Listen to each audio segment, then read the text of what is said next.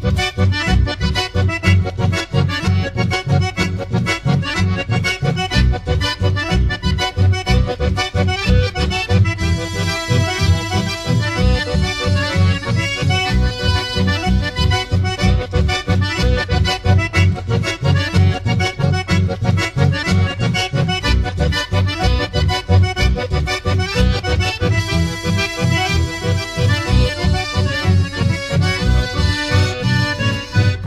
Zarzos, paredes y techo, todo hecho en capiquí.